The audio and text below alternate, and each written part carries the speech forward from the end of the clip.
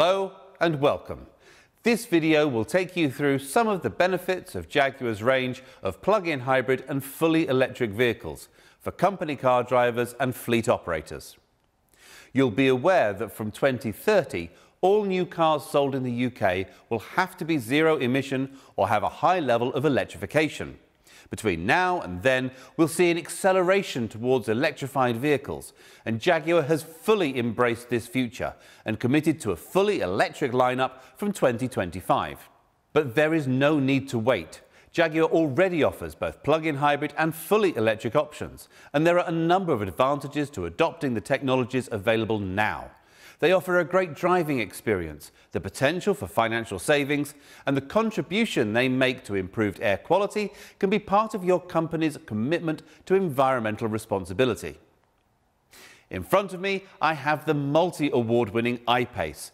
Designed from the ground up as a fully electric vehicle, every element of its aerodynamic design allows the car to slice cleanly through the air for optimized range and stability and with instant torque, its ultra-efficient performance is matched with exhilarating acceleration. We also offer E-Pace and F-Pace plug-in hybrid models, Jaguar's SUV siblings offering a combination of looks, practicality and dynamic driving. Both have recently benefited from an extensive model refresh, boasting interior enhancements, exterior updates and the introduction of Jaguar's new state-of-the-art infotainment system, Pivi Pro. But let's not be coy. Regardless of all the latest features and must-have technologies, all fleet vehicles are subject to financial scrutiny. So let's start with the financial benefits of going electric.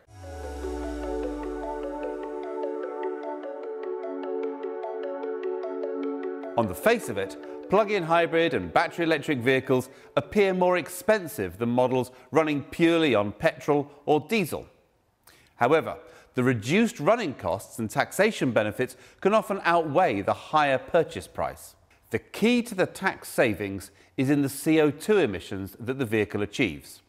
This is typically over 100 grams per kilometre for petrol or diesel cars.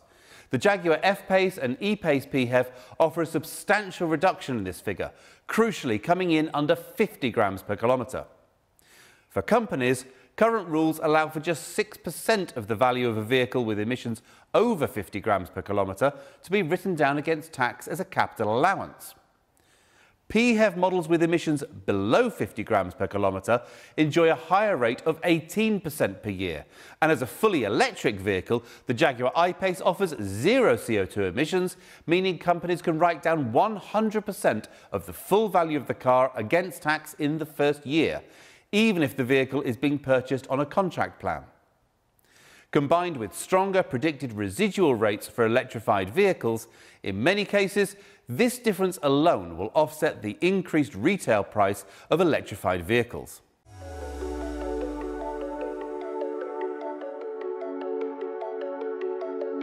And if you're an employee receiving a company car, benefit-in-kind rates are much lower on electrified vehicles compared with a typical cost for a petrol or diesel car of between 30 and 37%, Jaguar PHEVs can offer benefit-in-kind rates from just 11%. So monthly company car tax payments for drivers will be less than half the cost of driving petrol or diesel. These are the sort of savings that can feel like a pay rise.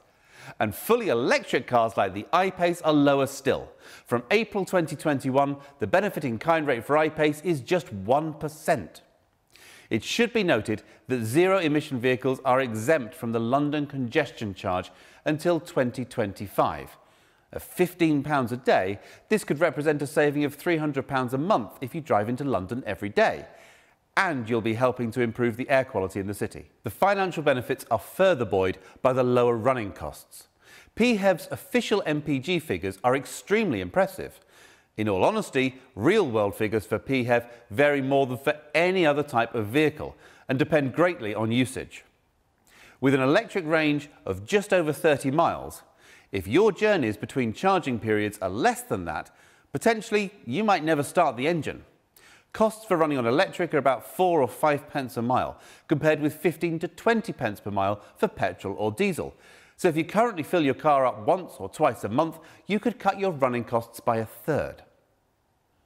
If you can charge at work as well as home, longer commutes can be completed purely on electric power. Currently, there is no benefit in kind taxation on electric charging at work. The all-electric I-Pace has running costs of between 4 and 5 pence per mile and an official range figure of 292 miles. Now again, this is dependent on usage, but even driving at motorway speeds, it should still offer at least 200 miles from 100% charge. And What Car's real-world range test produced a figure of over 250 miles. A full charge at home would cost about £13. Charging away from home on fast chargers, the cost varies, but reckon on it being about twice as much. Even at three times more, it would still be cheaper per mile than filling with petrol.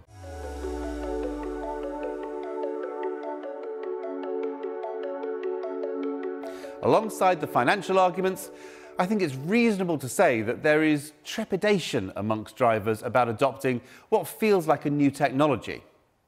As an electric car owner myself, I researched relentlessly, absorbed all the knowledge that I could, and in the end, when it was delivered, it was more similar than it was dissimilar.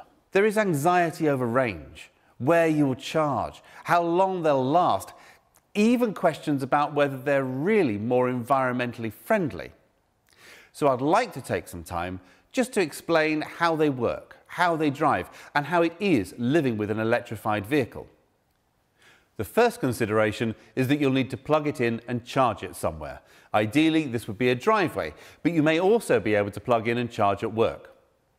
There are government grants that contribute towards the cost of installing chargers at both home and business premises, bringing the cost down to around £500, depending on supplier. Jaguar have recommended installer partnerships to make this step as simple as possible. These chargers are really simple. Just connect the power socket, then connect the car and it starts charging. It won't overcharge, so you can leave it plugged in all the time and let the battery management systems do their thing. This also allows for remote climate capability. Just press a button on the phone app and the car will de-ice itself and warm the interior in winter and cool down in summer so it's more comfortable to get in. This type of charging uses AC power at a rate of 7 kilowatts. PHEV batteries will fully recharge in about two and a half hours. The 90 kilowatt hour battery in I-Pace will take 13 hours to fully recharge, so just leave it overnight. And of course, mostly, you won't be fully recharging I-Pace, just replacing the power that you used that day. The recharging cables lock themselves in place while charging, and it won't allow you to drive when it's connected, so no worries about forgetting and driving off while still tethered to the wall. What I love about this is not having to go to fuel stations every 500 miles or so. Every morning the car is fully recharged, ready to go.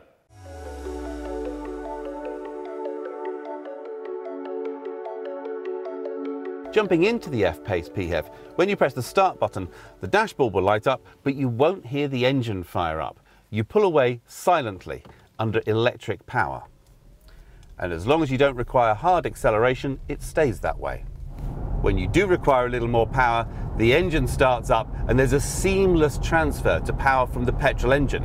And both powertrains can work together for a combined output of 404 horsepower, now, people often don't realize this about plug-in hybrids. They're usually quicker than their petrol siblings. 0 to 60 in F-Pace PHEV is just 5 seconds. You can really enjoy the drive. Power delivery is smooth and quiet while cruising, and, and when you move to overtake, there's a characterful growl from the engine. There is a little extra weight from the batteries, which you feel in the corners, but the car never feels unbalanced, and there's plenty of grip. You've got standard all-wheel drive, making sure you can deliver all 404 horsepower to the tarmac when you need it.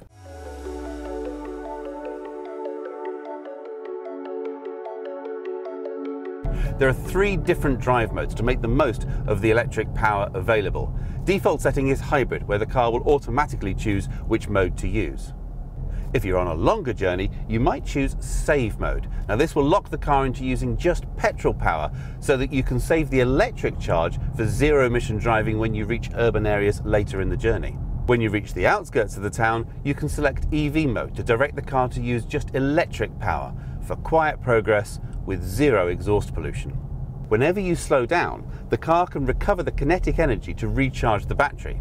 You can see on the display how it switches between using battery power when I accelerate and then feeding power back in whenever I slow down or drive downhill.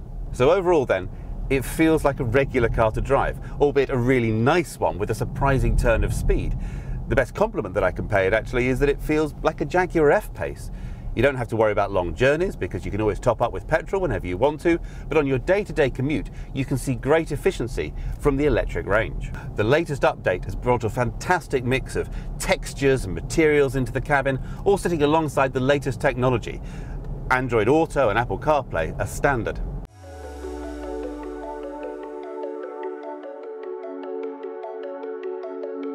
If PHEVs feel like an enhanced version of a petrol car, it's fair to say that all electric cars like the I-Pace can feel like quite a different kind of beast.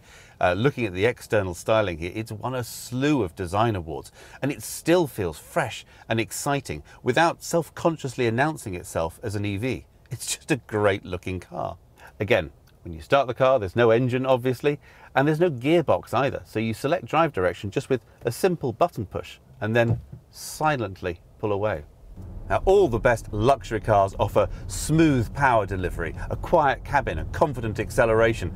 These things are baked into the technology of electric cars, so cruising in I-Pace is relaxing and serene, but put your foot down and the power just pins you to your seat.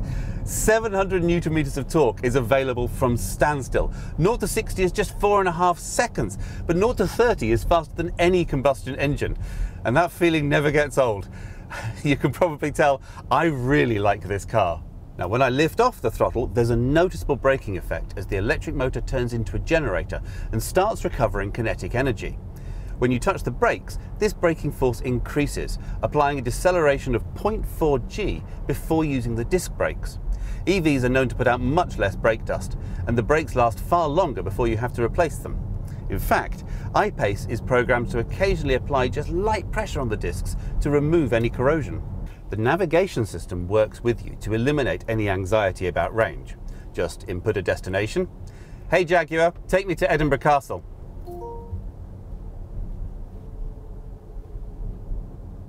And if there's not enough charge in the battery to get you there, the system will highlight this and suggest charging points along the way. It will also calculate how long you need to charge. If all you need is another 30 miles, you don't need to fully recharge, 15 minutes will be fine. Charging at home uses AC power at 7 kilowatts. Away from home, you have access to DC charging stations, which are much quicker. They start at 50 kilowatts. This station just off the M40 at Banbury has just given me a charge at 100 kilowatts. And that's fast enough to take I-Pace from a 0 to 80% charge in just 45 minutes. When you arrive at a public charging station, it can feel daunting. There's a lot of different suppliers, and some of them require you to have an app on your phone. Others are happy with just contactless payment. You simply tap your credit card on the outside of the charging station to begin. And that's certainly more common for the newer charging stations being installed. Even with chargers that need an app, though, it's generally not that complicated. You simply log in, uh, you select the charge that you want to use, and most of them will use location data to highlight the one that you're closest to follow the instructions, and then your car will begin to charge. With DC charging stations, the cable is always attached to the charging point, so you just need to plug it in. Because it's DC, you need to uncover the two high capacity pins in the charging socket. And then, after a brief period where the charging station communicates with the car, charge begins to flow.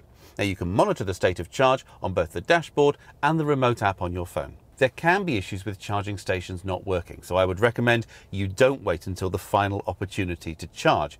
But the car system can advise you on which stations are in use or out of service, so you can plan ahead. The biggest point to make is that you probably won't be doing this very often. It's only when you have to travel more than 200 miles in one day that you'll have to think about charging anywhere other than your own home.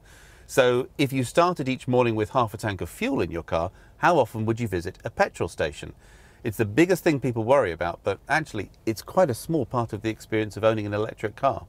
The other thing to say is that I know people who have electric cars who don't have the facility to charge at home, but do live near rapid chargers or whose councils have installed on street chargers or who can charge at the car park at work. Now, if the average commute is actually only around 30 miles, that may mean that the car only needs charging once a week. Ultimately, Of the thousands of people I've spoken to who own electrified cars, I'm yet to meet one who would willingly go back to petrol or diesel. Certainly, that's how I feel. Whether you're an enthusiastic driver, concerned about urban air quality, or simply looking for an option that's more fuel efficient and more tax efficient, Jaguar's range of electrified SUVs are leading the charge towards motoring's future. For more information on Jaguar's electrified models, search Jaguar Electric and follow the links to our website.